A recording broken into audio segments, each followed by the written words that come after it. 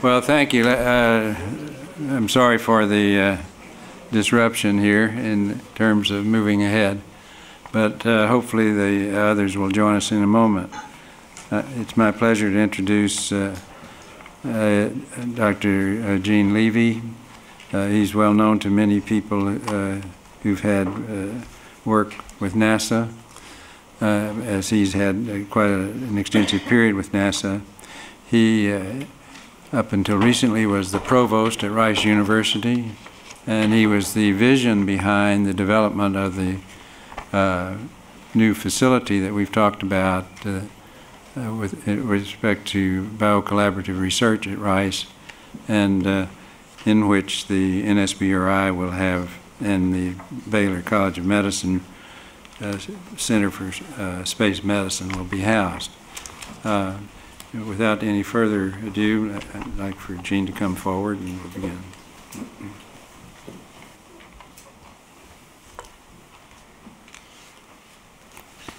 Uh, thanks, Bobby. Um, so uh, let me just make a, a, a few uh, brief opening remarks.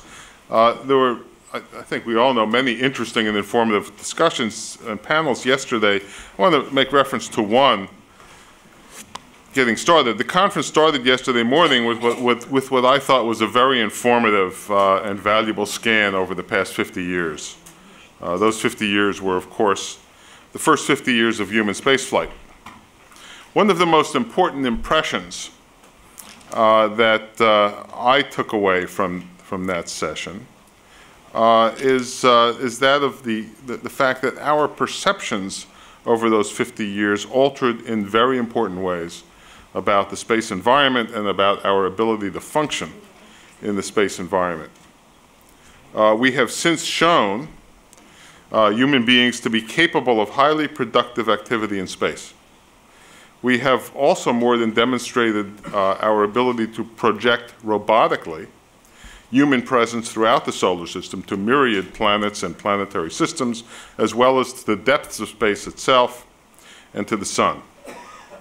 In fact, most recently, uh, uh, to the depths of space exceeding the boundaries of the solar system as we loosely think of the boundaries of the solar system. Uh, the uh, developments, these developments in uh, human operational capability, uh, developments in presence in the solar system, the projection of human presence in space both, both directly and through robotic agents, and the advances in human knowledge are nothing short of extraordinary. Uh, it was remarked yesterday that 500 years from now, uh, when other details of the 20th century have faded to footnotes, it is the expansion of human dominion in space that is most likely to be remembered and celebrated uh, as having characterized the 20th century more than almost anything else. We started the, 20, we started the space age uh, 50 or 60 years ago, for example, with people wondering uh, whether cosmonauts' hearts would race to the point of practically tearing themselves apart upon exposure to the space, to, to the space environment.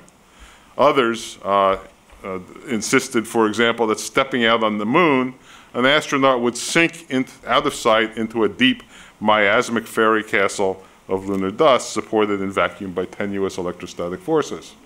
Uh, none of that came to pass. Uh, today we know that the putative dangers uh, of space never materialized in the, in the worst ways that were envisioned, despite the very many real hazards that await us outside the protective cocoon of our familiar terrestrial environment enveloped in this very pleasant atmosphere that is not a characteristic of the planet Earth, but is a characteristic of life, of what life has produced on the planet Earth. Uh, that outside of uh, that protective cocoon, of our fami familiar terrestrial environment, space is neither as alien nor as special uh, or as threatening in the sense that many had envisioned. In fact, uh, I don't want to insult space, but uh, in fact, extraterrestrial space is somewhat of a banal place. Uh, although uh, the space uh, environments are indeed hostile and difficult to negotiate, uh, they are not hostile and, and, difficult in ways that are, are beyond our capability to deal with. There is relatively little that we cannot contemplate doing in space if we are willing to pay the prices in effort, treasure, time, and risk. And if we can convince ourselves, and I want to say this, I think most importantly, because uh, this, this fact was only touched on uh, in, in this conference, although it is, it is profoundly important, if we can convince ourselves that those prices are commensurate with the returns that we get from space. Uh, it, it, I think we have convincingly uh, developed in the conversation here uh, that uh, indeed those prices are worthwhile, but we, well, let's, let's be clear with ourselves, we are the choir. And, uh, and, and as we have sung to ourselves uh, as a choir, we have convinced ourselves of all of the things that we were already convinced of when we walked into the room before the, con the, the conference has started. Uh, I think this is one of our biggest challenges to uh, continue that conversation. As an aside, uh, if you will permit me, I'm, I'm going to say that frankly, I'm not convinced that exploration is in our DNA. That is, a, a, I think, a topic uh, that could be a conversation uh, and, and, and, subject of a meeting at least this big, and I would commend us to think about the possibility of having such a meeting in the future. The topic for this fourth panel is, is in the title, Bridging the Sciences in uh, Space Flight, Space Sciences, and Space Exploration. I might offer just a couple of words of explanation uh, for those who wonder about the separate parsing of flight, science, and exploration.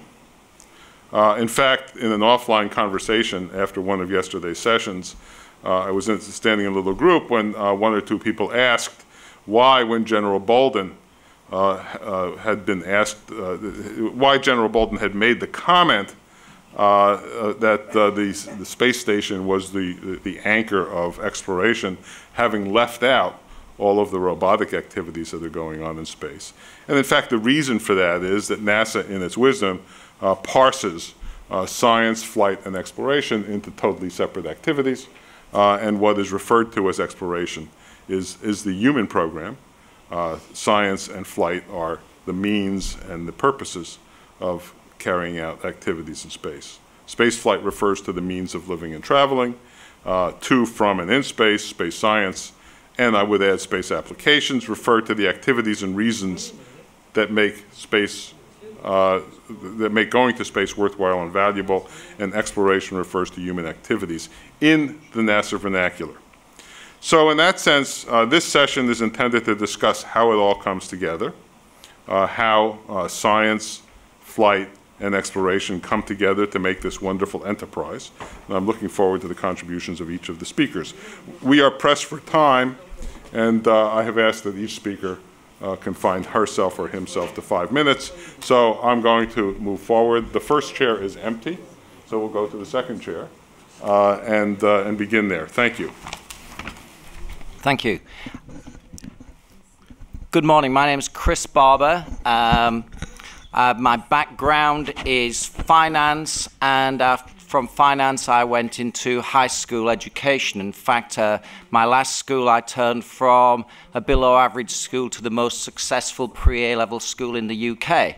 And my life was trundling along quite nicely, thank you very much, until I had what you could call a summit meeting with uh, George Abbey and cosmonaut General Yuri Glazkov in a pub in Wales. And um, during the course of our summit, they sort of changed my direction. Um, so you might say, well, this is a summit on space medicine. So what's somebody who's experienced his high school education doing here?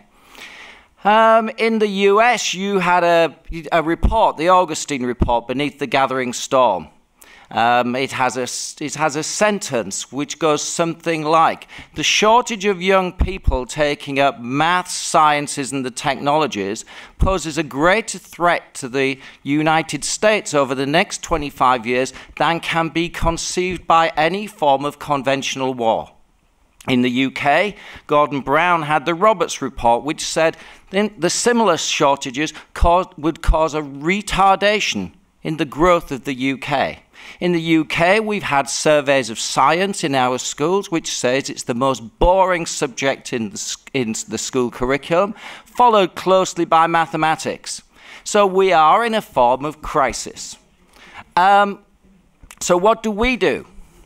We seek to do everything we can in a range of things that, if I get chance in my five minutes to bore you with, I'll go through the list, um, which actually tries to use the awe and inspiration of the context of space to influence personal development, to increase personal capacity, to increase self belief and self confidence, and to raise personal ambitions, particularly in our poorer and more deprived areas, where young people in our poorer and more deprived areas know that there are opportunities out there, but they think that they are for somebody else. And our job, working with people where we've had great support from, uh, from George, from Yuri, from uh, the astronaut office in actually getting out there and saying that there are opportunities for you and you can become anything you want. Uh, what sort of programs do we do? We raise money to bring youngsters to the space centres here. Um, in fact, we set challenges. We've ran the UK's most successful uh, schools competition, having over 25,000 young people enter, where we've brought the, uh, the children here. They tell us it's a life enhancing experience.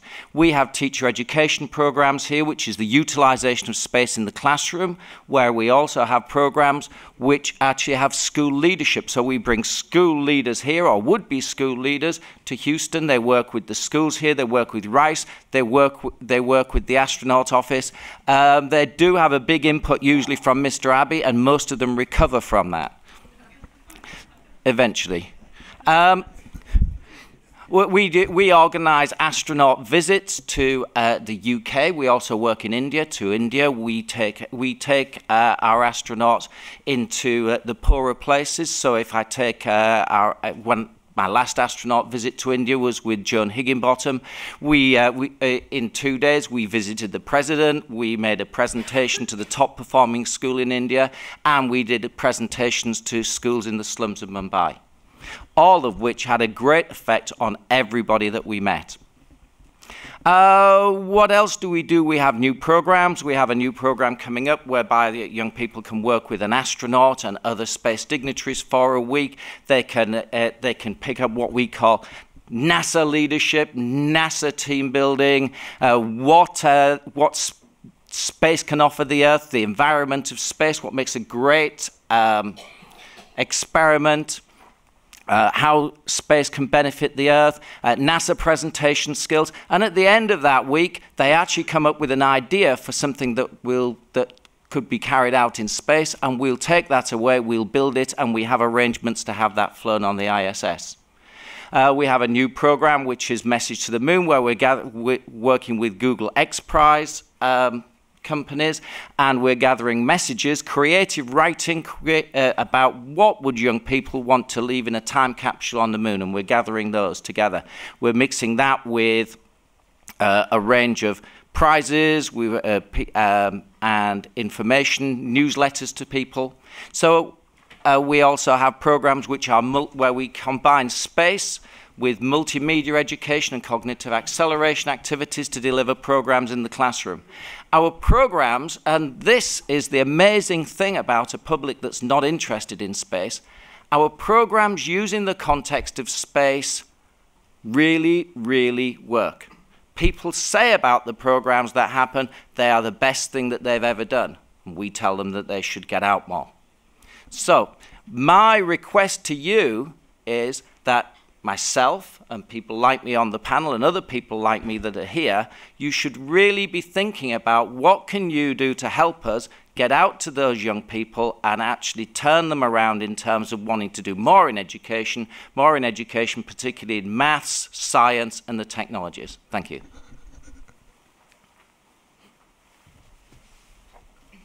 Okay, my name is Lyudmila Buravkova. I am head of uh, cell physiology lab in Institute of Biomedical Problem. At the same time, I'm scientific secretary uh, in this institute, and I manage uh, PhD education. Uh, also, I'm professor in Moscow State University, uh, biomedical faculty, faculty of basic medicine and uh, I would like to talk about uh, education, uh, developing the next generation, and collaboration opportunity for uh, young scientists. Uh, unfortunately, I'm not native English speaker, and let me continue uh, in Russian to express my um suggestion.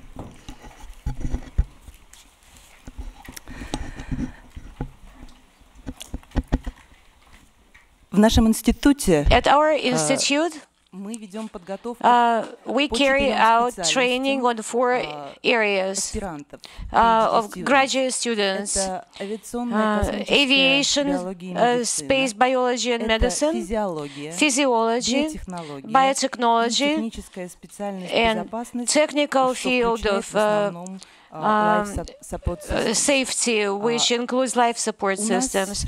Um, I believe that we have a lucky opportunity to combine those disciplines. when the students, engineers who have graduated from technical institutions, when they arrive um, at the institute, there they have the um, opportunity to do scientific research along with the scientists. At the same time, physicians and physiologists are capable of I have the opportunity to develop develop, along with engineers, new equipment, new instruments, new engineering systems, new uh, technologies. And this allows also at the level of the laboratory research, during the selection of, the, of a discipline of research, to combine medical, biological, and engineering goals in a laboratory during performance of graduate work. In addition to that, um, very often a graduate student has two uh, advisors. One of them is a specialist in space medicine and usually is one of the leading scientists of our institute. The other one could be a researcher of, a, of an Academy of Science, Russian Academy of Sciences Institute, if uh, he deals with uh, radiation biology or cell biology. But he, he or she can also be a physician who specializes, who is a specialist of the leading clinics of Moscow or of the, or of the Academy of Sciences. This provides an opportunity to demonstrate uh, how the bridges can be uh, created between sciences, which is absolutely necessary for our area, space medicine. On the other hand, if we were to talk about international collaboration, then I think that we should start it as early as possible, including the moment of training at the graduate school and also perhaps uh, during high school uh, or university or during uh, at the the entry to uh, entrance to college. It could be done in several ways. For instance, European Space Agency um, uh, allots travel grants um, for the participation of students and graduate students in international conferences on space medicine. The Russian um, Foundation for Fundamental Research also um, allocates travel grants for young scientists, and it could, it, there is an opportunity to use them. Our graduate students take take advantage of them um, in order to participate in international symposia such as COSPAR, MATH, and others. Uh, in addition, uh, there is a, a, number of organizations that organizes conferences for young scientists and specialists in English. And those are international forums. They usually take their conference, school conferences. They usually take place uh, for seven or ten days with participation of international graduate students. Uh, international Space University, our institute, and in addition, um, bilateral uh, school schools or workshops have been conducted lately in Moscow or in Dresden. Um, those are schools or, or, workshops that are carried out on a regular basis.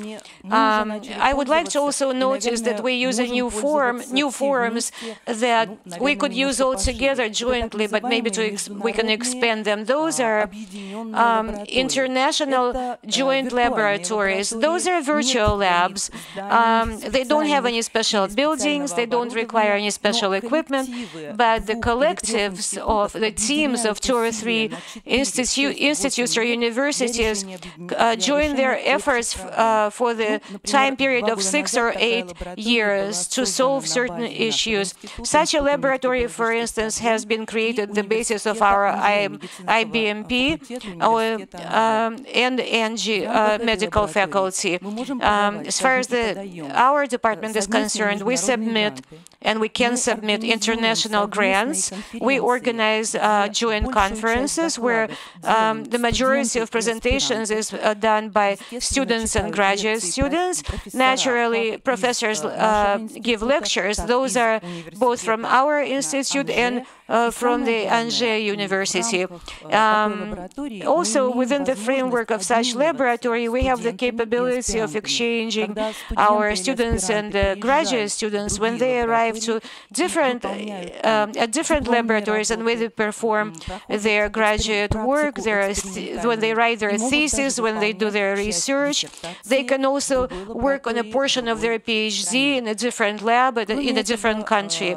Um, in addition, Dr. Sutton has already observed that this year we're going to try and organize a PhD fellow uh, program for Russian students here in Houston. Um, I would like to observe that in Russia, such a format um, of participation of young people after PhD as a PhD fellow, postdoc fellow, uh, is not very popular. Um, although at present, the Russian Academy of Sciences Sciences is in the process of creating special program to support young scientists. And I'm hoping that our institute is going to take advantage of that program in order to train young scientists in the area of space medicine. Um, I also have to make an observation that here at this summit, there is a great opportunity for collaboration for young scientists as far as the various space projects are concerned. The, the ones that we haven't talked about yet, those are biological satellites like Bion and Photon uh, they attract uh, broad international cooperation. And in this case, it's very important to have participation of young scientists, um, also from the point of view of having a fresh look on things, a fresh view on uh, all the issues. And the experiment that you have heard about yesterday, which is Mars 500, and other integrated or complex experiments are extremely interesting studies, both for young people and in order to popularize, to make it available to the open public, to the youth, and engage them in those projects. Many young scientists from our institute and from the Russian Academy of Sciences um, participate in that and thus international teams are created and it also two and a half years are uh, allocated for uh, completion of, of, such projects. And young people propose their own projects and, and their own knowledge. Uh, I would like to get back to yesterday's discussion on the subject of competition. Um, they said that during international cooperation there is no competition. It exists and it will always exist exist because individual scientists have their own ambitions, labs have ambitions, leading organizations have their own ambitions. And you know that ideas can float in the air, but it's important to extract them from the air and to develop them, to deploy them. That's the most difficult part. And, but uh, the, the competition and the collaboration are two sides of the same coin, and we can use it as you, we can use both of those sides as a support in order to make progress in science. But as far as the young people are concerned, uh, concerned, the competition in their medium is much more intense. Trust me on that one. And at, using that platform, we'll be able to further uh, develop space medicine. And this is what we're worried about here. And this is the whole purpose of this summit. And that's why we are all gathered here. Thank you. Thank you very much. Um, first of all, I'd like to thank Bobby and George for the invitation to be here at this very inspiring meeting. And I hope I can share a few thoughts about the kinds of activities we do. My name is Michael Fenech. I'm from CSIRO, which is the Australian Government Research Institution that covers all areas of science. And what I would like to do is to address the issue about bridging the sciences of radiation biology and nutrition, because that's the field I know something about, and I, I can uh, talk, talk about this. And so the focus of, of my, pre my presentation is on the genome, genomic effects of nutrition and radiation and their interactions. Um, I think it's fair to say that damage to the genome is the most fundamental pathology, and it is an important issue not only in space but also on Earth.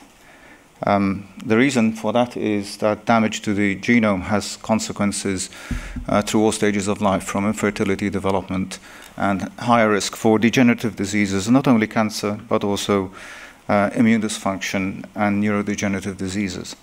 Now, what we have been doing since I've joined CSIRO about, about 20 years ago is to use the same diagnostics we use in radiation biology.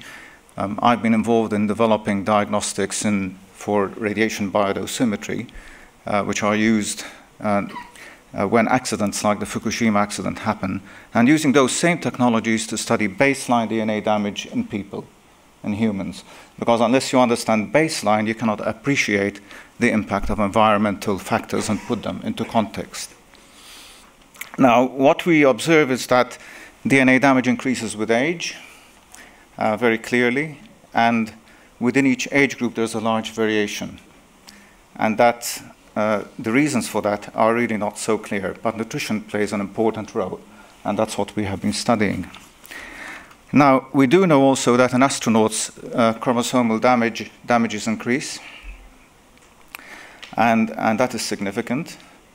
Um, however, whether that is solely due to the um, heavy ions or the galactic type uh, radiations, or whether it's due to other factors, uh, for example, uh, uh, nutritional factors that vary with being in the space environment include micronutrient deficiencies, for example. Microgravity itself, when modeled in vitro, has been shown to depress repair in cells, and there's evidence of more DNA damage. So it's likely to be a combination of factors. And psychological stress, uh, more recently, has been shown to be associated with more genomic instabilities, such as telomere shortening. Now, just to give you an example, we do a lot of modeling studies in vitro, uh, just to do some basic biology. And when we investigate the folate, you know, folate is important for genome maintenance because it, you need it to synthesize the bases to make DNA. And just within the physiological range, the normal range, we see a very uh, sharp dose response, such that allowing cells to be at 20 nanomolar folate, which is the concentration most of us would have more or less in the blood, um, causes as much DNA damage as 20 um, centisieverts of radiation, which is at least 10 times the annual allowed exposure limit. So the impacts of inadequate or inappropriate nutrition on the genome is as large as doses of radiation that would be considered unsafe and therefore, we have to start to understand this and to appreciate it. Now, we, it's not just folate. We have identified nine micronutrients that modify the frequency of DNA damage in humans on Earth. And these include, uh, and these are dietary sources of vitamin E, calcium, folate, retinol, nicotinic acid, uh, as well as beta carotene, riboflavin, pantothenate, and biotin. So all of these can impact if they are in, in the appropriate balance. Now, in the space environment, from the papers that have been published so far, um, reductions in the serum concentrations of iron, selenium, zinc, vitamin E, and folate, and red cell folate have been recorded, um, as well as vitamin D uh, reductions. And the oxidative stress levels uh, have increased. So this suggests uh, multiple reasons why DNA damage in astronauts might be increasing, apart from just the radiation environment. And there's likely to be interactions because we know that the sensitivity to ionizing radiation induced DNA damage is increased when folate is inadequate, for example, when zinc is inadequate. Um, and, and there are obviously also phytonutrients like the polyphenols in wine uh, which can be radioprotective. And we've shown this already. Uh, it's not just us, but uh, there are also other studies. Now, there are also studies in, in pilots which can be informative here, because long haul uh, pilots and crew uh, experience increased DNA damage as well. And it's been shown in recent studies published just um, a year or so ago that the DNA damage levels seen in pilots are are associated with dietary intakes of vitamin C, E, and carotenoids, that's foods rich in these, as well as niacin, which are exactly the kinds of nutrients we see affecting DNA damage in the general population. So this suggests the possibility that uh, of dietary mitigation, or at least making sure that first of all we fix what we can modify. It brings to mind the experiments and studies we did in Belarus uh, when we were studying children exposed to the contamination from the Chernobyl disaster. There was not much you could do about the radiation, but you could modify the diet and explore that. Now, surprisingly, uh, as far as I'm aware, there are not yet any studies on telomeres in astronauts. Telomeres are the ends of chromosomes. They're hexamer uh, repeats, which protect the chromosomes by preventing instability, because if these are not functioning well or absent, the chromosomes stick to each other, and this creates, creates havoc in terms of the stability of the genome. Now, actually, there's a lot of nutrition studies just happening. Uh, just to give you some examples, increased dietary intake of folate, vitamin E, vitamin D, omega-3 fatty acids are associated with longer telomeres, which is the better way to have them, whilst intake of processed meat, high homocysteine, which occurs when folate is deficient, and oxidative stress, obesity, and psychological stress are associated with shorter telomeres. Uh, this is an indication then that these latter uh, factors can accelerate aging. Furthermore, lifestyle-wise, there is now evidence it's just not just nutrition. A recent study with the biomarker that we developed that's been used in Japan in a lifestyle study and occupational study shows that inadequate sleep, uh, very long working hours, insufficient exercise, and unbalanced nutrition all contribute significantly to the DNA damage we see in people.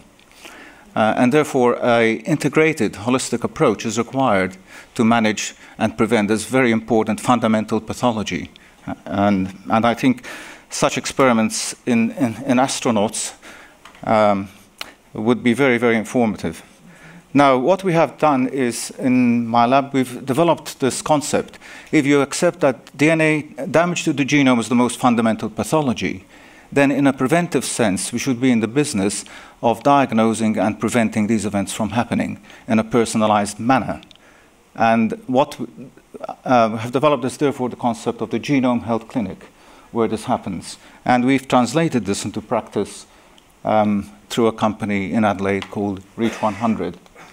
This is still at the beginning, but it's uh, attracting quite a lot of interest. And I note also that Elizabeth Blackburn, who's uh, well known for the Nobel Prize uh, related to her discovery about telomeres, has also, uh, it's been this year announced the telomere health um, uh, diagnostic capability being available to the general public. Therefore, the other issue that I think is of relevance here is that it is evident, even just examining 10 people, 10 females or 10 males, we can find significant differences in the radiation sensitivity of people. So it would be interesting to know to what degree astronauts vary in their sensitivity to the DNA damaging effects of radiation and whether uh, one can uh, mitigate this, these differences uh, by appropriate intervention. We now live in the era where having one's genome is practical, it's not too expensive, and that can provide important information. So the gene genetics will allow us to understand predisposition. The epigenetics, the marks on the genome that determine gene expression, will allow us to understand programming, and this information will allow us, using the transcriptomic and genomic techniques to measure the molecular response and to show efficacy and safety of any intervention we might conceive. So to, co to conclude, we are now really aware that the fields of nutrigenomics, psychogenomics, toxicogenomics, and lifestyle genomics are all relevant for understanding how to prevent damage to the DNA, which is the most fundamental pathology. And I think to conclude, there are some important knowledge gaps, uh, which, are, which I think are as follows. We still are not certain what are the main causes of increased DNA damage in pilots and astronauts. To what extent it is radiation or diet or other factors. Uh, which dietary and lifestyle strategies in extraterrestrial environments are required for maintenance of the genome integrity? I think we still have a lot to learn.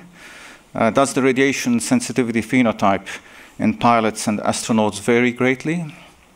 And is a personalized diet and lifestyle approach required to optimize the DNA damage mitigation strategy? Thank you very much. I don't know about the rest of you, but that talk scared the hell out of me. Uh, if uh, insufficient sleep, uh, irregular diet, and stress are destroying my DNA, I'm, I'm hoping to make it to 1215. That's not that, the rate's not that fast. Uh, it depends on how much it'll still be lack of around. sleep is involved. Uh, yes, thank you. Next. Thank you very much. Um, I, I, I apologise in advance for my lack of shirt and tie today. I had a slight wardrobe malfunction. Um, I'll try and make up for it by speaking in a very posh British accent for the rest of the talk. Um, if, if I look around the room, um, there are too many people to thank. That would take the whole of five minutes. There is almost nobody in the room who I haven't asked for help from or who has helped me in the last 14 years coming to Houston. And if I haven't asked you for help, don't worry, I'll get to you soon. Uh, uh, for, for me, the theme of this conference and this era of human space exploration, space exploration in general, is sustainability and how we move forwards and this becomes something that can be made understood and sustainable so that the science goals can be achieved. Uh, and there have been some changes in the UK that have allowed us to make progress and hopefully uh, I am at the point at which I can repay some of the generosity and patience that people in this room have so far shown me. Uh, we have the newly coined UK Space Agency, represented by Jeremy Curtis here today, uh, which should give us a bit more flexibility, if not more money in the first instance. We have British astronaut working within European Space Agency now. We have a new government, uh, and we've had a royal wedding. Uh, and, and, and all of these things help.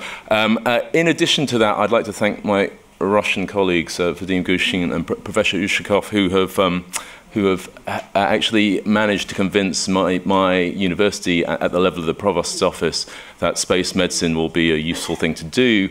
And that has led to uh, Anna Clark accompanying me on this trip, who's a representative of the provost's office, just in case you don't believe me that my, my university is taking this seriously now. Uh, we're here and we're going to set up, we are setting up, we have set up the UCL Centre for Space Medicine. Um, uh, on this visit, we've also had very productive meetings within SBRI and uh, uh, friends at NASA, uh, and we hope to move forwards. Now, the UCL strategy is probably worth describing so I can tell you where we're hoping to go, uh, and that really depends.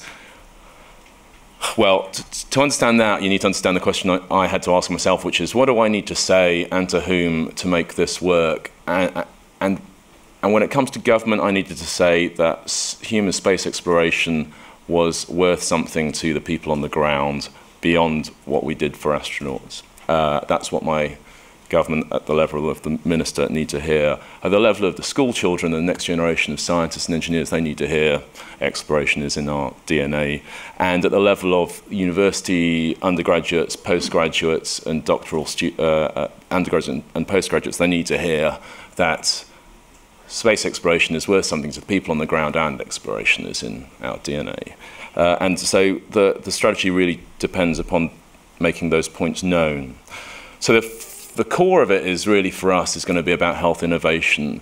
Uh, I talked a little yesterday actually with, with Charlie about disruptive processes, and I think this is where we're at here. But one of the unique selling points for me in the space program is that you bring engineers, physicists, medics, uh, life scientists all together and very often co locate them in a way that doesn't exist in almost any other industry. And certainly, uh, NASA uh, and the other international agencies, IBMP, have learned how to do that very successfully over the years, and that should be exploited.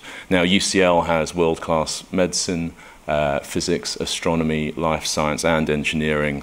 Uh, and uh, having learnt from those processes, we hope to bring that stuff together at UCL to, to generate health innovation. I'd like to give you two very quick examples of uh, innovation projects that are live at the moment. We uh, have worked with the Open University with a very specialized mass spectrometry device that was put into the Beagle lander that got to Mars just in quite a few pieces. Um, but we have taken that technology and used it to try and use as a near patient, near patient testing device to identify and speciate blood-borne pathogens. We're on the way with that at the minute, so we're hoping we'll have some success with that. And the second one is data mining. We've taken some astrophysics data mining techniques uh, that have been used for about 40 years by the astronomy community to take multi-channel data and mine them. You analyze those data sets for their differential properties uh, to and, and the solar physics group have used that to try and predict solar flares. I think it is my hypothesis that if we can effectively archive intensive care data uh, and then analyze that data set, paying attention to the differential components, uh, we may or we may be able to try and get an idea of, of whether or not we can predict catastrophic events in the patient. Those two are live. Neither of them involve human uh, space flight. That's because we don't have any in the UK. I will be coming here and going to Russia and to Europe for that. Um, but we hope to move on in that vein. Um, that's the innovation core, and we think we can get some sustainable funding for that at home. Um, on the education front, we're continuing with the undergraduate program at UCL that we have for the last 10 years that grows the next generation, uh, and with our elective programs, uh, both here and abroad, uh, elsewhere, to get the next generation of people through. And Harriet Cullen is here. She's one of our trainee doctors in the UK. Uh, she went through Kennedy Space Center a few years ago. She has qualifications. She has a PhD in astrophysics and medicine, and exactly the sort of person we want to bring through for this innovation program. And finally, we'd like to use both of those things to produce a sustainable environment so that we can prosecute our interests in exploration, which we couldn't otherwise do in the UK. That, that is the plan. Um, I'd like to wrap up by saying that I don't think that this can be done uh, in the UK by any group alone, that I think that there's not enough of us. And here, actually, there are representatives, my friends Steve Harridge from King's College uh, London, but also uh, uh, representatives from Swansea University, Southampton University. We all are going to have to form a consortium so that we can bring this forwards.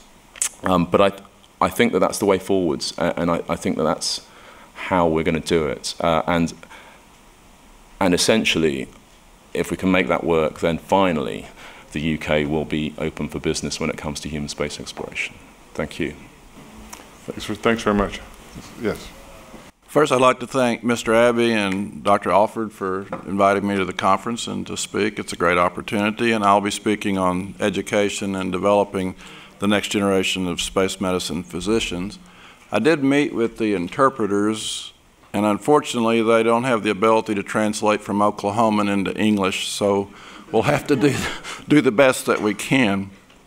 Uh, at UTMB, we've been training space medicine specialists uh, since 1993. And when I say that, you might remember Sam Pool mentioned yesterday about the space doctor for exploration or going to Mars or other things. I'm not talking about that. I'm talking about the people that take care of crew members in, in space from Earth.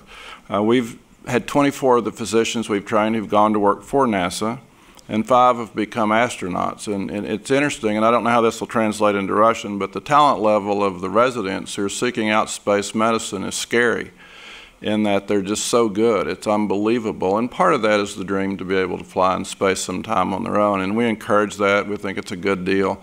And we think when they do make astronauts, they'll be dandies. Uh, we also try to do things internationally, and I'll get into some of the limitations, but we have had uh, residents and students from JAXA and ESA uh, attend our sh short course, which is a four-week course that lasts for uh, uh, that we've had about 20 different countries represented in our short course. And of course, we do other things like our grand rounds that was mentioned earlier. Our grand rounds is available live each month worldwide. It's also available on the internet that way, and you can do it through teleconferencing and actually ask questions and do those sort of things. And then it's archived through the USRA's website. So we do what we can internationally. Uh, our feeling about space physicians is that first, they need to be good physicians. We think it's critical that they have good clinical skills. We don't think a one-year internship and then a an MPH and a little practicum is enough. So all of our residents either come in with a specialty area uh, that they've already done or they uh, do a combined program with the primary care area and space medicine. After that, things that you come to mind are the areas like space physiology. They do need to understand the 50 years of data we have, what happens to normal people when they're exposed to the environment of space. They also need to understand the space environment and what the space environment means, whether it's radiation or reduced pressure or all the things that you're familiar with. Another thing that we really think is critical and important is that they get a science appreciation, that they understand studies, how to interpret studies, but more than that, know how to interact, interact with scientists or pure scientists who are doing the work in space because so many times we're a, a partner with them and they need to have an appreciation for that process and appreciation for the individuals that do that. And NSBRI has been uh, critical in doing that. They have provided some fundings for our residents to do uh, science and do research on their own, and we think that's critical for their career uh, as they progress forward. Telemedicine, we think, is a very important thing. We're lucky at UTMB that, that UTMB does 6,000 telemedicine consultations each month. The, they were at one time the biggest provider in the world in telemedicine, and that's what we're really doing when we take care of people in space is, is telemedicine. We think international medicine is critical. The Russian Space Agency, and I'll talk about that a little bit more in a minute, has been critical in helping us in that area.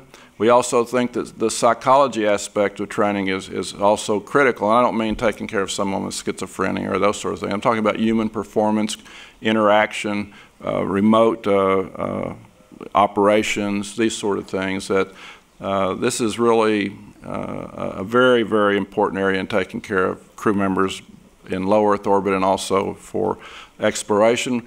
We also are very interested in what's called point of injury care, which is totally different than most medicine. Most doctors work in an emergency room or in a hospital, the patient comes in and they start to take care of them. But when you work in Kazakhstan or you work at a, a launch and landing site, you're on scene, you're doing on scene care, and that takes special training.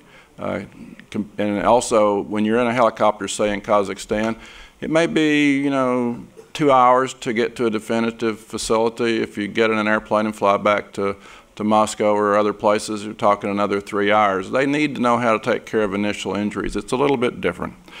We've been lucky to have wonderful partnerships to accomplish what we do with NASA, who provides the funding for our program.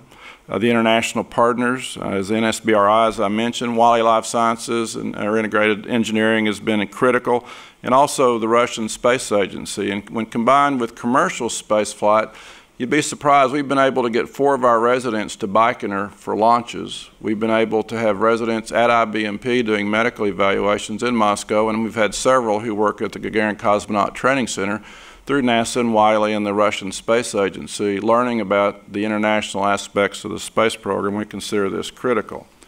We have some limitations uh, that I don't need to spend too much time on. We have a lot of bosses.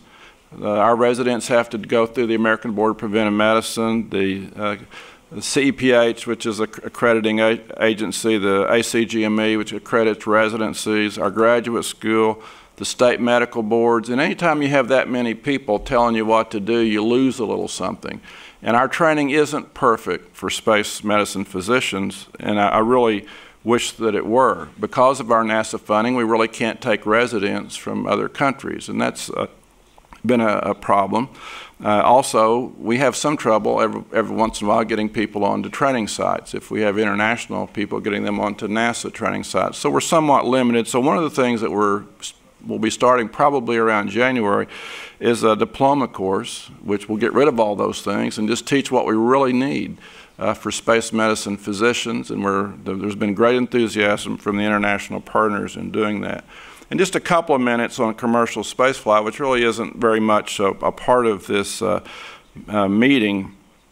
But uh, really commercial spaceflight opens up a new paradigm. Where in the last 50 years we've taken care of generally healthy people going into space. Now, there's, as you all know, there's quite a few people who aren't that healthy, but we don't really get much chance to study those or know that much about those. For example, we mentioned Parkinson's disease uh, earlier in this, and after 20 years, I got a call from one of the astronauts that to talk to a news person who was going to come by and talk about his Parkinson's disease. And uh, finally, that's out in the open. It was 20 years later. Uh, and so there's so many things that do happen, but no one knows about it. But commercial spaceflight gives us the opportunity to study people with medical conditions. And uh, you have to really respect and admire the courage of the Russian Space Agency, who's flown multiple spaceflight participants. They've flown eight flights with uh, space adventures, and not only were there eight flights, there were also five backup crew members. And one of the things you find is to come up with $200,000 for a suborbital flight or 30, 20 to 30 to 40 million for a orbital flight is you give up your youth and your health in order to come up with that kind of money. And I don't think the Russian Space Agency took big risks. They spent years looking at risk mitigation and understanding the medical conditions in these people, and they're to be applauded, I think, because when people go to Mars or when people get sick on the International Space Station, we have absolutely no knowledge of how to treat illness in space, and this has opened up the door for that. Not only that, these individuals allow us to publish their story because astronauts have the Privacy Act, they also have career interests. We've been able to publish the story on these people that's out there for all the investigators, for all the scientists, for all the physicians to look at. And we're learning dramatically how to take care of illnesses, how our medications work in space. And uh, the international partners, and particularly the Russian Space Agency, deserve the credit for that. Um, the, the other thing is that these folks, and I, again, I'll, I'll, finish, I've got amount of time, I think, but uh, they do offer the opportunity for science. I don't know how many of you followed Richard Garriott's story, but you know, when he goes up, he really doesn't have any duties to the vehicle, and his data are published, but the amount of science that he was able to do in a 12-day mission, whether it was protein crystal growth, Earth observation, the medical experiments that he did for Korea, for the ESA, and for NASA, uh, uh, it was amazing uh, how much he got done in one short mission, and he paid his way to go. And so it wasn't at any ex huge expense to any of the other international partners. So we're going to have this raft of people now who want to fly into space who have medical conditions. And the physicians that take care of them are going to need to know all the other stuff, but they're going to need to know how to take care of people who have medical conditions. And that's one of the reasons we really want uh, clinical skills. I'm a little worried about the job outlook right now for people in our program. Commercial spaceflight hasn't quite picked up yet. And we really, there's a lot more opportunities that are being used. I reviewed the STS-35 mission, and uh, if something happens to the RCC or the uh, tiles on that mission, and they have to camp out, we're going to have 10 individuals on the International Space Station some of them are going to be there way beyond the U.S. experience base, not the Russian experience base, but they're going to be beyond the U.S. experience base. And there's not a physician on board, 10 people, up to a year, no physician. And the truth is, as you start going to crews of six, you start doing exploration, we need a few more physicians. I think there's an advantage in having physicians. Now, I'm not naive. We've had, I was a crew surgeon on a mission, had a physician on board and a, and a crew medical officer who was a shuttle commander the entire crew went to the commander for their medical care, not the doctor. And so, not every doctor is God's gift to the universe. Not every time are they a good deal, but in general, you'd have less likely having a physician being the eyes, ears, the remote guidance from a specialist on earth than someone else. And just to give you an example of that as I close, uh, Richard Garriott was participating in Clarence Sams' experiment, and at the end of the flight, they needed to draw blood. They stuck him eight times, didn't get a drop of blood out of him. And if you think non physicians can do these things, it's not that easy. And uh, that's why we put IO needles and things on board. But physicians do give you some capabilities that uh, non physicians have. It affects the science, I think. I think that they're important for the science. And so uh, uh we're excited. I think we're training good people. I think there's going to be a real role for physicians both on the ground and in space.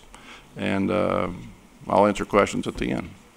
Thank you. We, we, we are, uh, with discipline, we will not fall off the edge of the world at, uh, as, as the clock comes up to 12.15, but thank you all. Next. Доброе утро. Good morning. What I'd like to talk about today are some uh, guiding principles of uh, specialist training uh, in the interest of developing space programs. When we train our specialists, we need to uh, answer a couple of questions and then set our goals and objectives. What kinds of specialists do we need to train? энциклопедически образованных, Uh, Do they need to be uh, broadly educated, a walking способных работать во encyclopedia, всех областях науки. ready and capable to work in any sci- uh, scientific В field? России есть хорошая пословица, что такой человек There's a может saying in быть и Russia. жнец, и жре- и на дуде играть. Uh, this kind of person is a может jack of all делать всё. trades. И He needs to хлеб be able to взять, do, uh, и he will be able to do anything, платье to bake точить, bread, и to make clothing, uh, to play violin at the end of the day. Or, rather, do we need specialists that would be uh, narrowly trained, very specialty-oriented uh, specialists that are, have uh, deep insight into their uh, respective field? Back in the Soviet Union, we had a top-of-the-line training technique and philosophy overall that was based that was based on the availability of center of excellences in the education field. Uh, the scientific leaders in their fields uh, headed those schools. Many of them, uh, the older generation at least, uh, know very well, are very well known. Uh, Chernigovsky, Kreps, Orbeli, Parin, Petrovsky, Oleg, uh, Oleg Gazenko, all academicians. Uh, the latter uh, has until recently been the, uh, the co-author of the Russian-American publication until recently. So what happened after the demise of the Soviet Union? Yesterday, uh, it was mentioned that there's a possibility of brain drain. Unfortunately, uh, uh, uh, back home in our country, we know this uh, firsthand. When you have your well-trained specialists of uh, creative age leave their work sites and take off.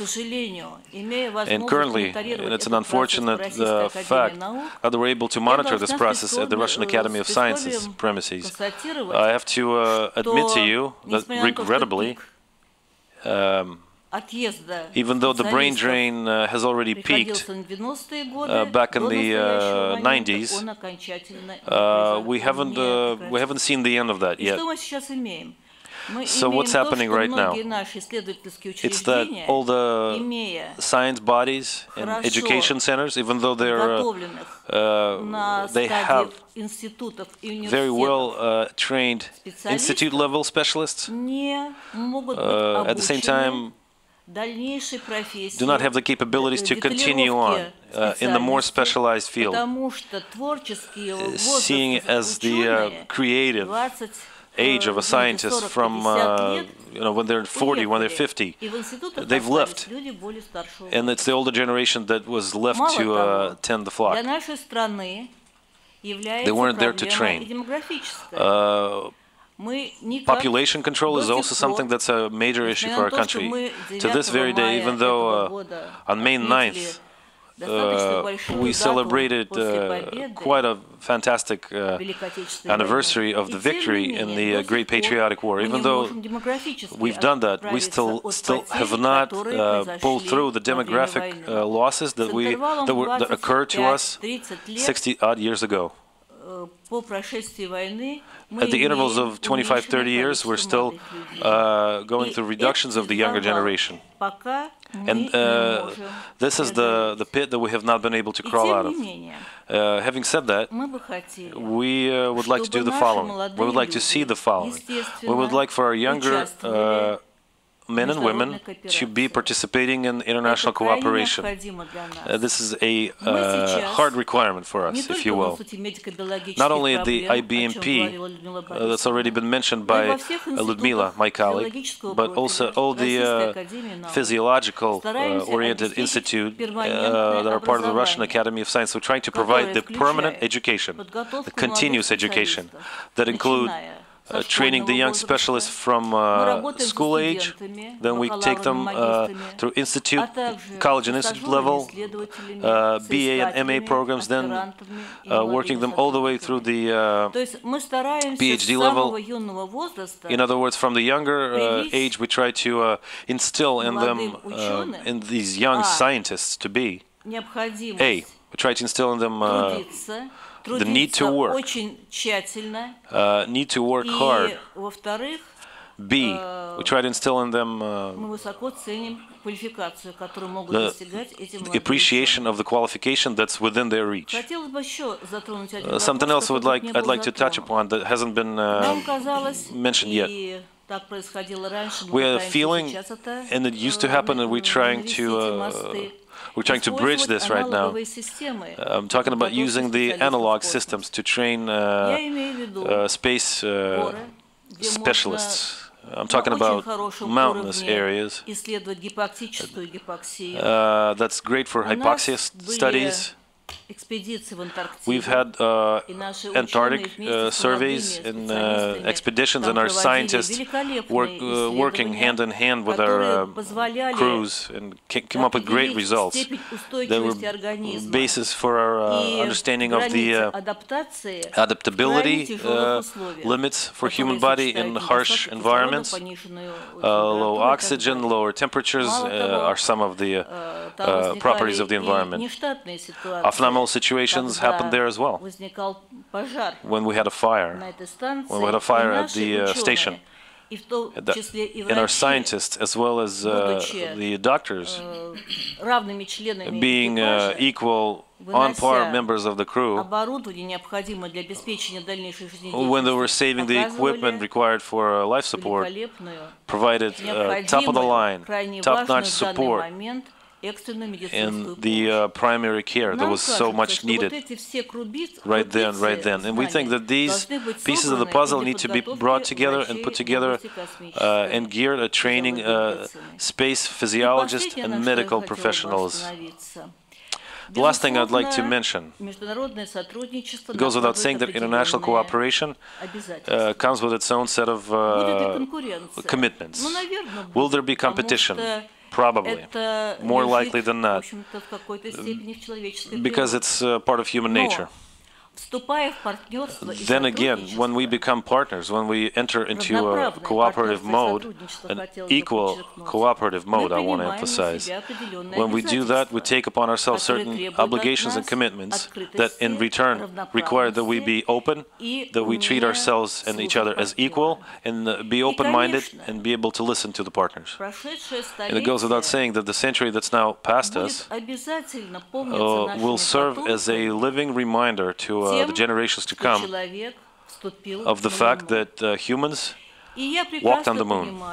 And I uh, know very well that the science corporations of each respective countries that are tied into their powers that be, that in turn formulate to them that it's the it's this particular nation's science field is uh, the fastest, the deepest, the greatest, and so on and so forth with that in mind, when we come together at summits such as uh, this, and when we're given the possibility to provide uh, clear, lucid uh, status of, uh, of scientific matters, we need to admit that uh, the moon on the walk, uh, the walk on the moon would not have been possible had it not been for Yuri Gagarin's flight.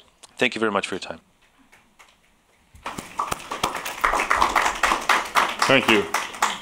Um, why don't we go to Jeff? Uh, I just want to make a comment. Jeff, uh, yesterday, before Charlie Bolden spoke, you uh, allocated him as much time as he wanted. I'm not reciprocating.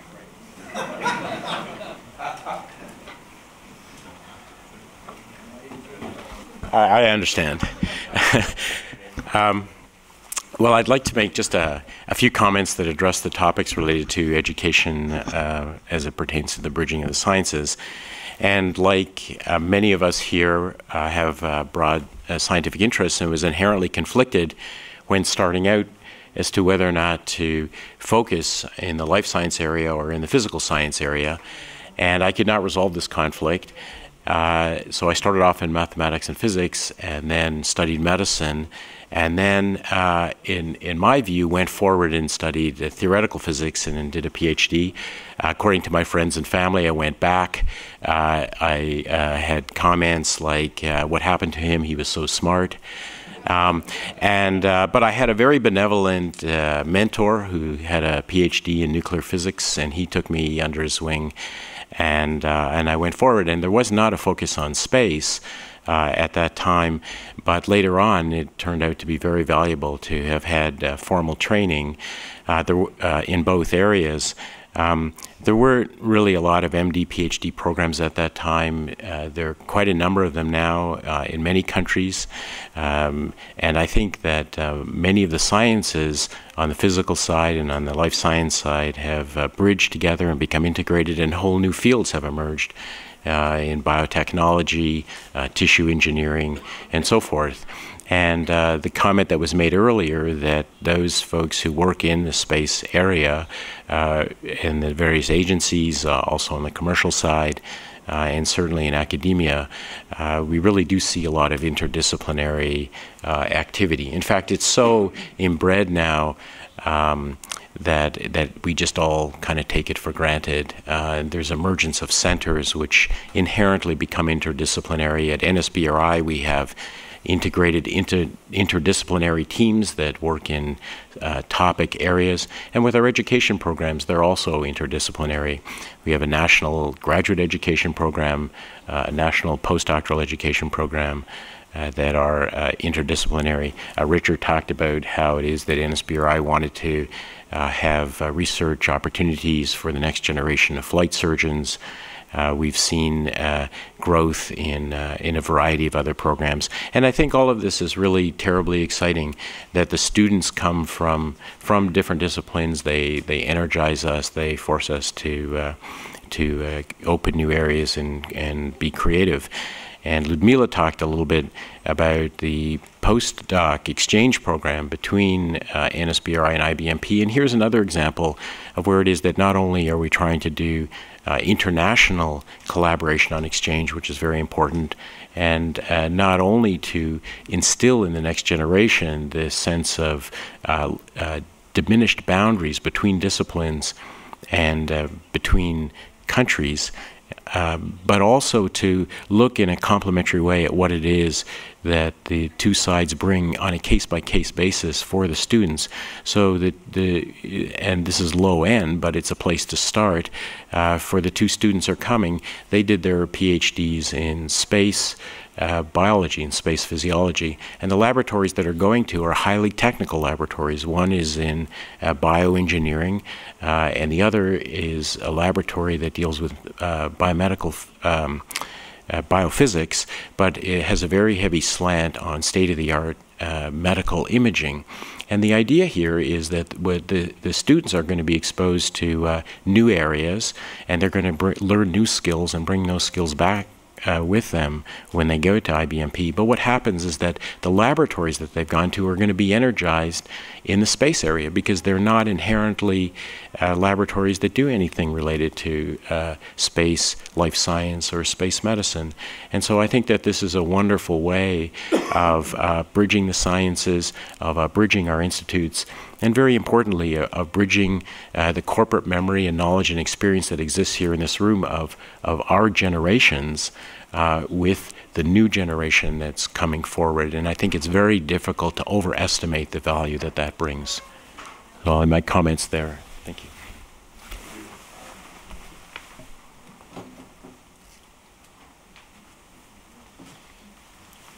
Добрый день.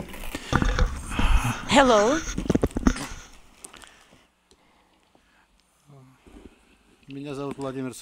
My name is Vladimir Sychov. I represent uh, IBMP.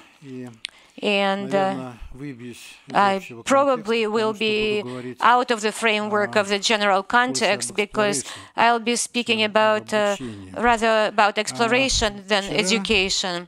Yesterday, when they were talking about um, what is an obstacle to fly into deep space, uh, then the main emphasis was made on um, radiation components.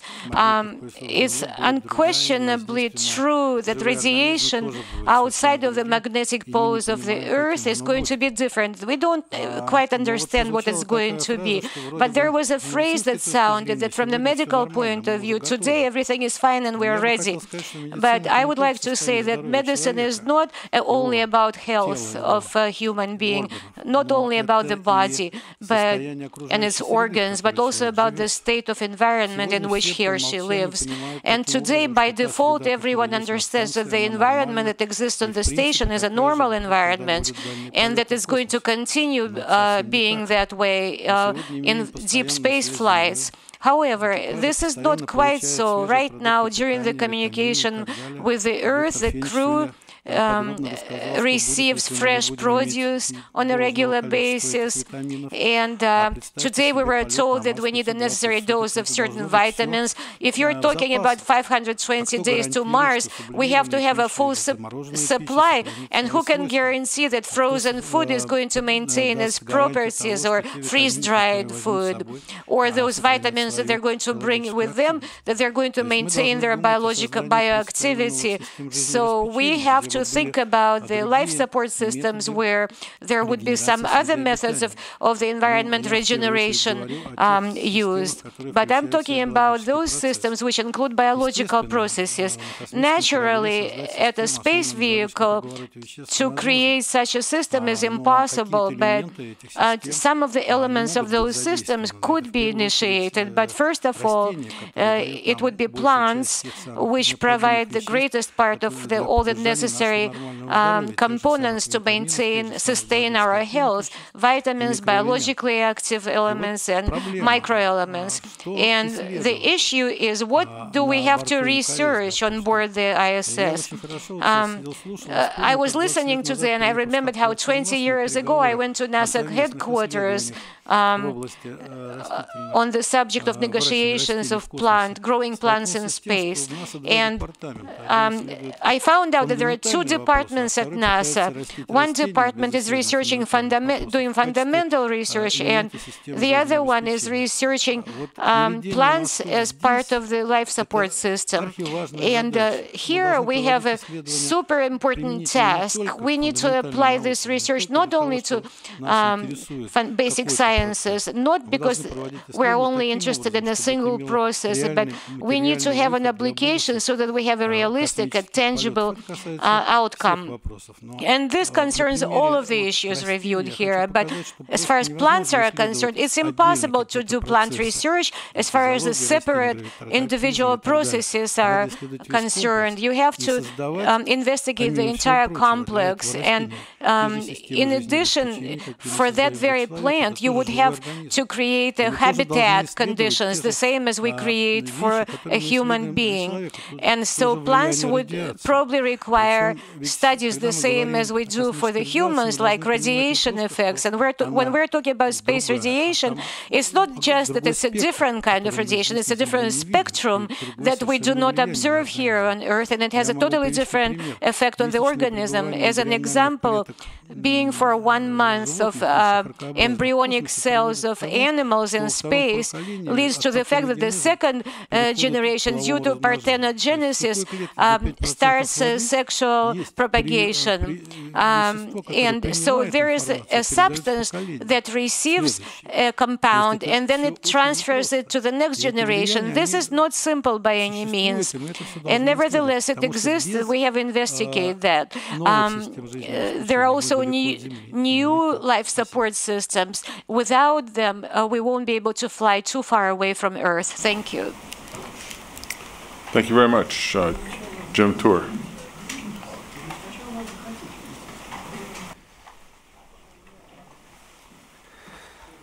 I'll talk about the uh, the crossing of education between academia and and the space sciences uh, just by telling you two two short stories.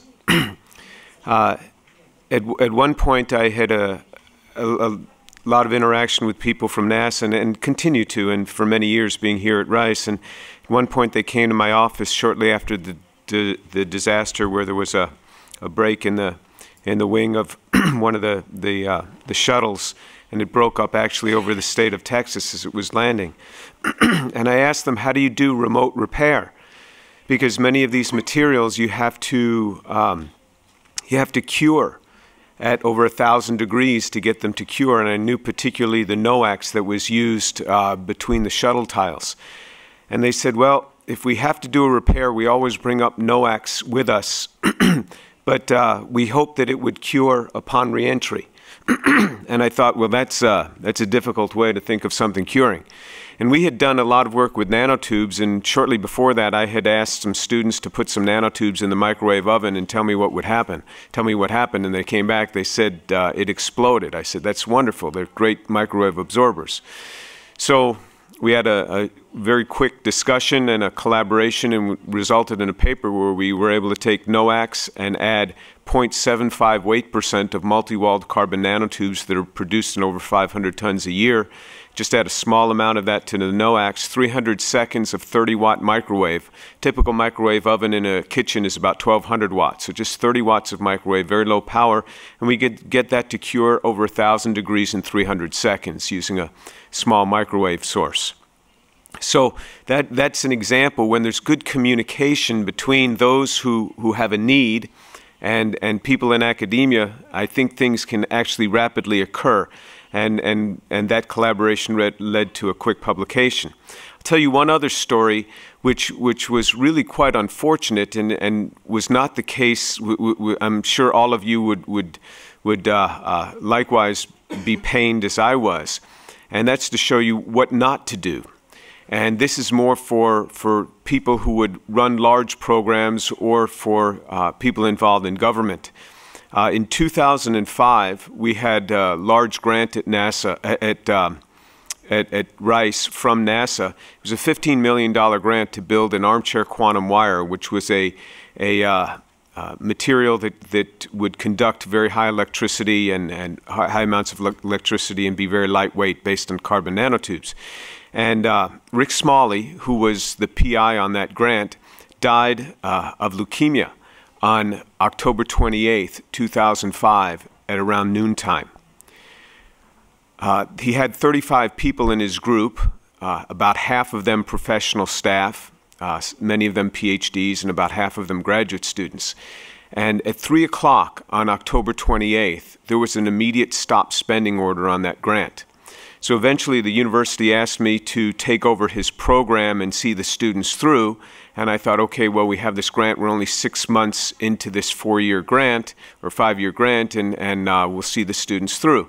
And then I learned that um, there had been immediate stop spending order. I couldn't even pay the salaries at the end of that day.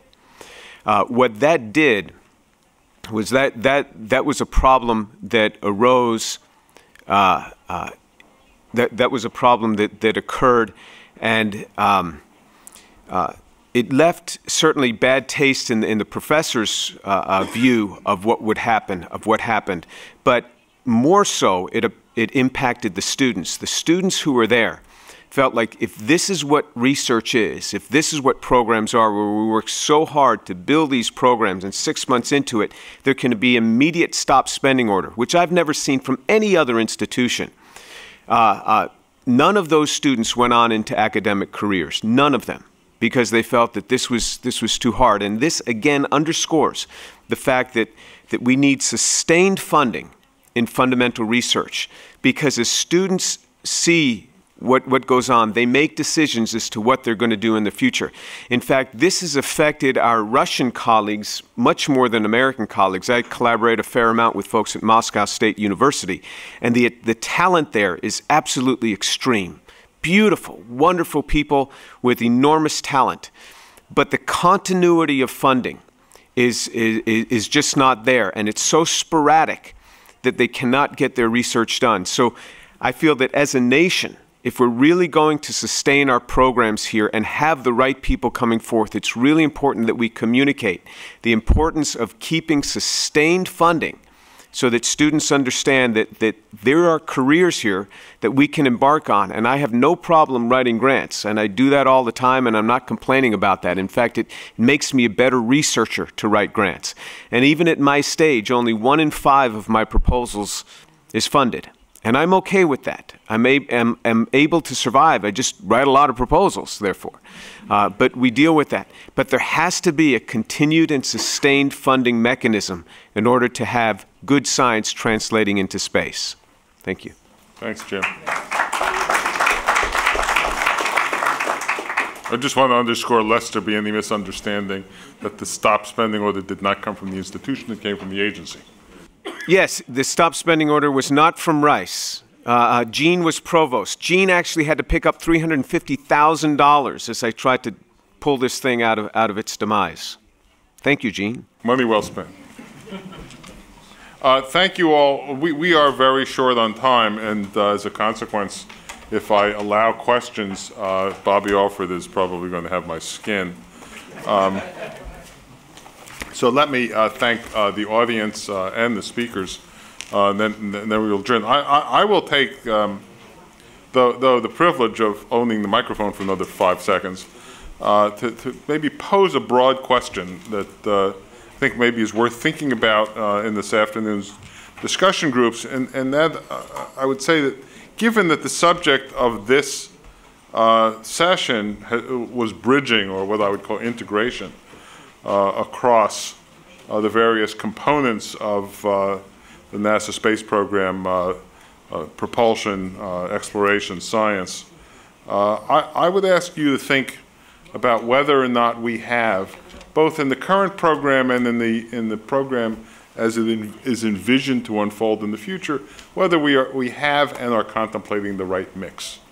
Uh, the right mix of uh, focus on propulsion, focus on exploration with human beings, and focus on uh, what I'll call science, the way NASA disaggregates science and exploration uh, with robotic systems. And whether, whether or not that mix is as effective as it needs to be uh, to meet the needs of our society and the aspirations of our I should say, our societies together, I think is a, is a question worth all of our contemplation.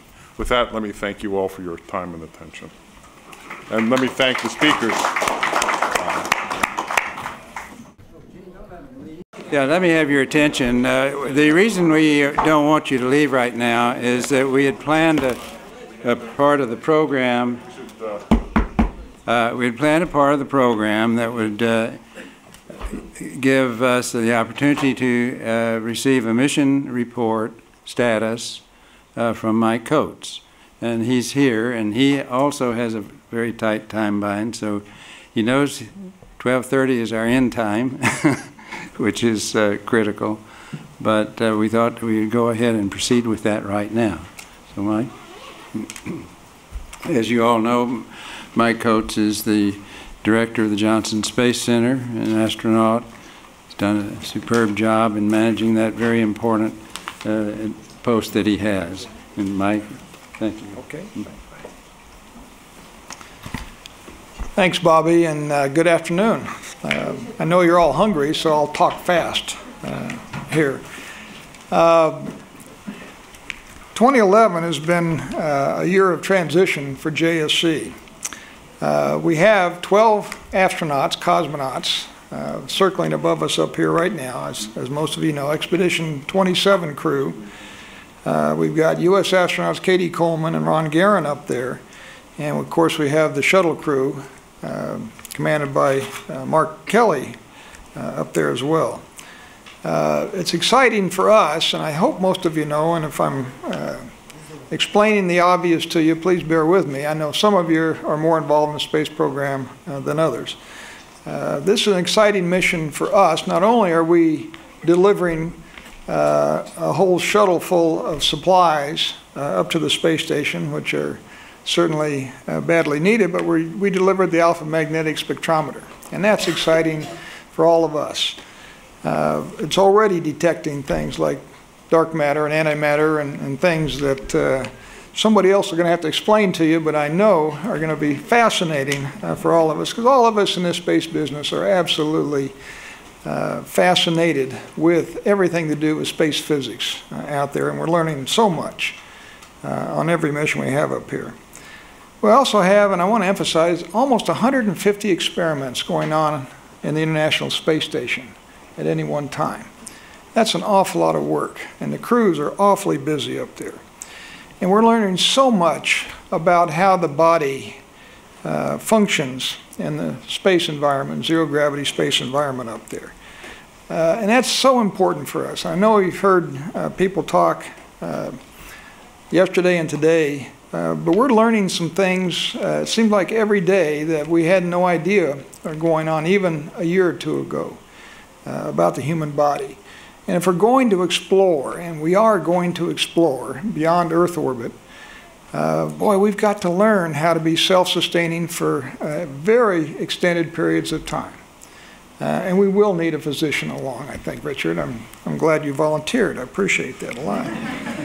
Um, and I'm, I'm, I'm proud to say the Johnson Space Center, uh, I believe, is going to be continue to be at the forefront of, uh, of human space exploration out here. The International Space Station, as you know, is, uh, I believe, uh, the finest laboratory or collection of laboratories uh, in the world. Uh, and they're doing just amazing things uh, up there. We're very, very busy at the Johnson Space Center. The Authorization Act, and I'm sure Charlie will talk about that uh, this evening, uh, challenged uh, NASA and Charlie and all of us uh, to establish a program that does several things. One is to foster the commercial space transportation industry, and that's important for us.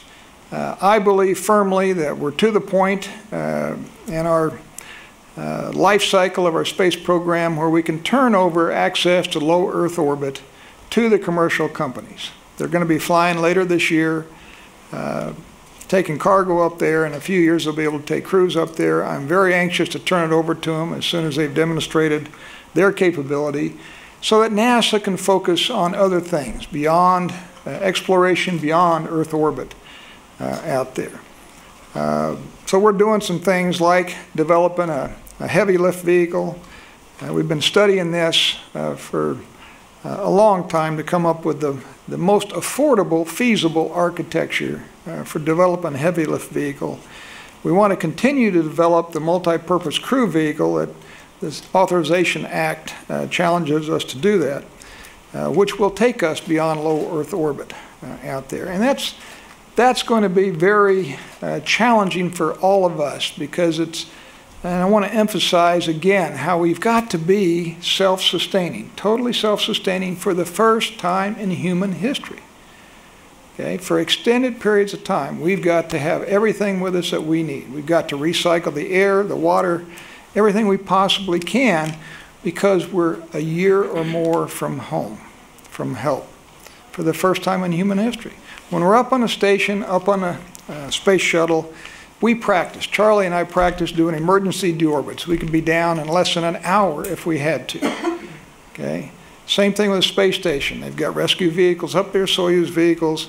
They could bring you home uh, in an hour if it was really necessary uh, to bring you home. Even when we were walking on the moon, two and a half days from home, if you had a problem, which we demonstrated with Apollo 13.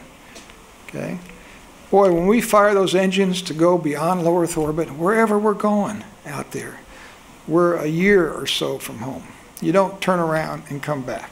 So we've got an awful lot of work to do to prove that we can exist and live in space for extended periods of time. So the things we're doing on the International Space Station right now are so important. We haven't yet mastered recycling air, recycling water, uh, but we're getting there. We're learning. We're improving those every day, and that's exciting for us. Uh, the collaboration with our international partners, with industry, with academia, uh, is just so important to us.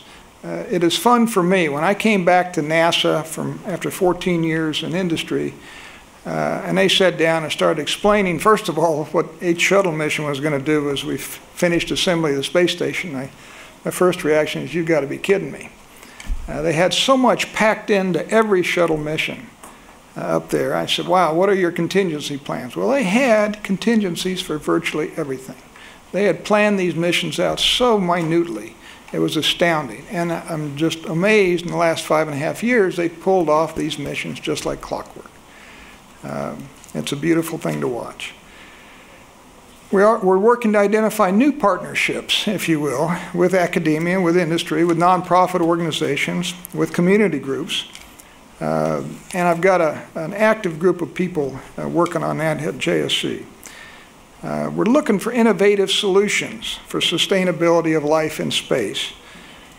The, uh, we're trying very hard to transition the Orion uh, vehicle as part of the Constellation program to the multi-purpose crew vehicle. Uh, we're trying very hard to uh, emphasize a new technology, investing in new technology uh, developments, both with the Office of, of, Chief Technologist at NASA and the Advanced Exploration Systems uh, funding, if you will. Um, again, we're emphasizing excellence and innovation, diversity, inclusion, and they're not just words to us at the Johnson Space Center. We've, we've discovered, and I think we've, we've emphasized down there, to be creative, to be innovative, as we have to be given a constrained budget environment that Charlie's got to live with up there. We've got to be extremely innovative and creative in what we're doing, which means you've got to get a very diverse group of people uh, together on any team you put together.